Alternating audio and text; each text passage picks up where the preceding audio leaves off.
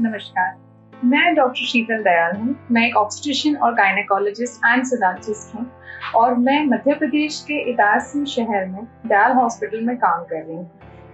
मैं इस संभाग के लोगों का बहुत शुक्रगुजार हूँ कि उन्होंने हमारा काम को बहुत नाम दिया और बहुत ही कम समय में हमें इतना प्यार और इज़्ज़त दिया। तो इसके लिए मैं हमेशा आभारी रहूँगी। हमारा हमेशा यही प्रयास रहेगा कि हम हमारे शहर में और भी सुविधाएँ लेके आए।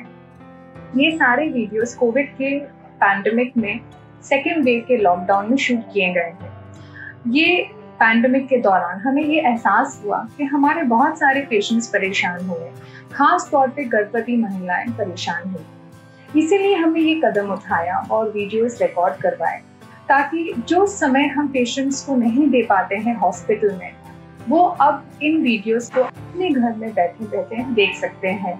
और आपको यही लगेगा कि मैं आपके घर में आपको अपने सिम्टम्स का एक्सप्लेनेशन दे रही हूँ। इसी वजह से हम सितंबर में हमारा ऐप लॉन्च कर रहे हैं। ऐप का नाम है मम टू बी डॉट इन इस ऐप की कुछ फीचर्स मैं आपको बताना चाहती हूँ। इस ऐप में आप अगर प्रेग्नेंट हैं और आप अपने वज़न और ट्राइमेस्टर के अनुसार अगर आप अपना एक डाइट चार्ट चाहते हैं तो आपको इस ऐप के द्वारा एक कस्टमाइज डाइट चार्ट भी मिलेगा। एक्सरसाइजेस क्या प्रेगनेंसी में करना है, क्या नहीं करना है, इसके बारे में भी आपको इन्फॉर्मेशन दिया जाएगा वीडियोस बताया जाएगा। इसमें आपको ऑनलाइन कंसल्टेशन के लिए भी एक माध्यम बन जाएगा। And online consultation not only for me but for nutritionist for physiotherapist orthopedician pediatrician first trimester second trimester third trimester ये सारे जो सिम्टम्स और सिम्टम्स कॉम्प्लेक्स होते हैं, उसके बारे में भी वीडियोस हैं जिस पे आपको समझाया जाएगा।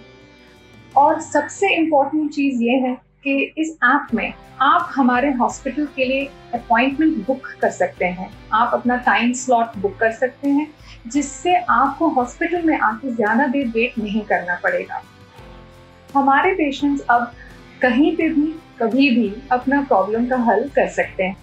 इसी उद्देश्य से हम ये सारे वीडियोस की श्रृंखला और ऐप मैं आप पे समर्पित करती हूँ और आशा करती हूँ कि इस ऐप और इन वीडियोस के द्वारा आपका नाइन मंथ्स बहुत एंजॉयबल हो।